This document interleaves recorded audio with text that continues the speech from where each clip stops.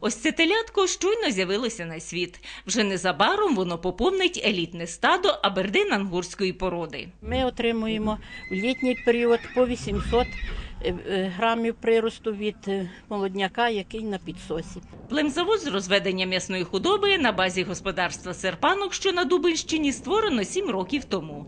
Зараз тут прибавляють у возі майже пів тисячі вугільно-чорних красенів. Та щоб вони досягли ваги у тонну, потрібні значні витрати.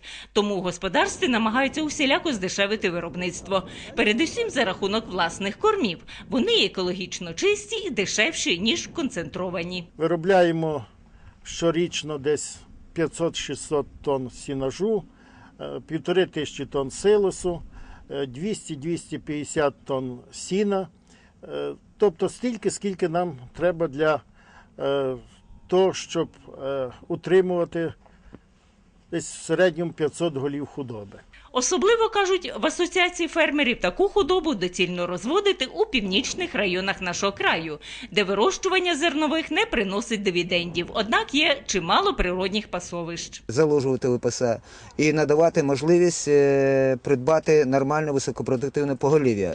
Е, Саме е, в першу чергу осіміняти штучним осіміненням і, можливо, природнім це коли тримати високопродуктивні богаї, які є сьогодні, можна придбати у племінних господарствах. Зараз в області 60 господарств вирощують м'ясну худобу. 13 з них мають статус племінних і репродуктивних заводів.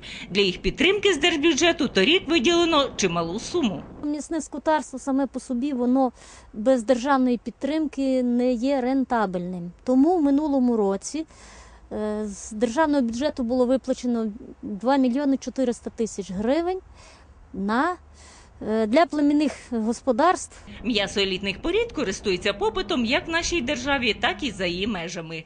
У господарствах краю нині вирощують близько півтори тисячі голів такої худоби.